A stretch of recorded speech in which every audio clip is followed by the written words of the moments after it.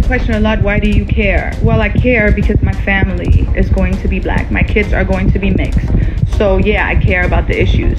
Maybe I went about it to like, oh, uh, do, you know, I just asked questions and I didn't know enough about the history. That's what I'm reading. So, if I'm not invited to the cookout, don't invite me to the cookout. I'm to be home reading.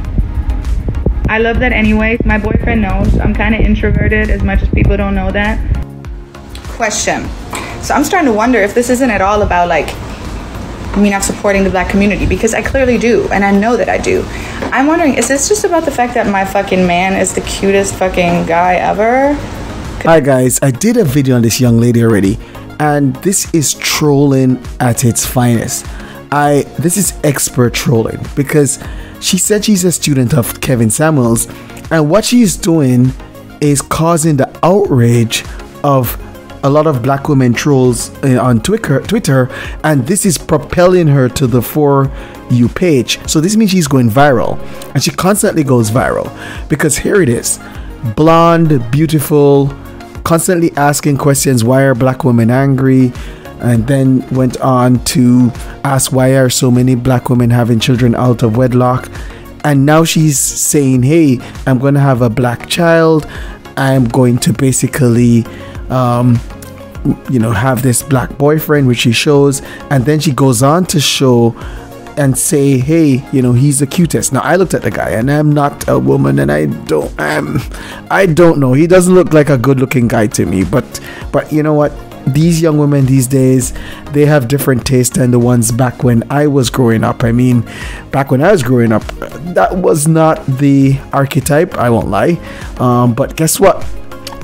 It is what it is and that's what she likes. But anyhow you know the fact of the matter is is that she's getting under the skin of a lot of women and she's triggering them and they're in her comment sections. She has very little likes but she has a lot of engagement. Um, this is just tremendous trolling.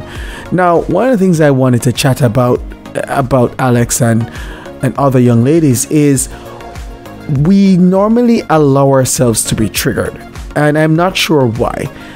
I always thought that after the pandemic would be over and people went back outside, they'd stop being so triggered by people who are either accidental or obvious trolls. I'm not fully sure if Alex is a accidental troll or she is an intentional troll. I don't know.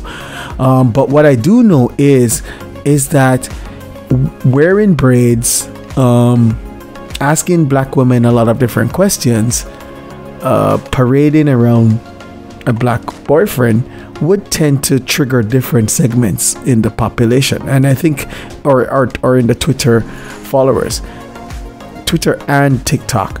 I, I definitely think that people should not allow themselves to become triggered by this. I mean, these people are living their lives, they have preferences, what does that matter to us? And I mean, if she wants to ask about what's happening in the black community, I don't care because here's the trick of it all there's no secret what's happening in the black community. Uh, there is a large out of wedlock rate um, on YouTube, especially, and on Twitter. Well, Twitter not so much, but YouTube, there is somewhat of a gender war going on between some black uh, men and black some black women. So it, it does give the black community a bad look uh, and it's not and let's be honest online and real life is two different things.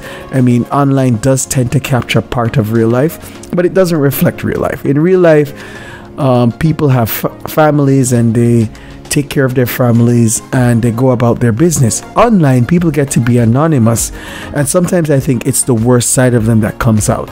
And especially when you have you know situations like this you know, with this beautiful young lady asking these questions, it will trigger them. And as I said, it's the old Kevin Samuels route that the more you the more people trolls complain and send nasty comments the more it pushes videos to become viral it is a proven formula and now i think people have figured it out and i would just say to people stop being so triggered and just if you don't like something, just stop watching it. Simple. But if it draws you into it, then I think it has less to do with the content creator and more to do about yourself. Thanks, guys.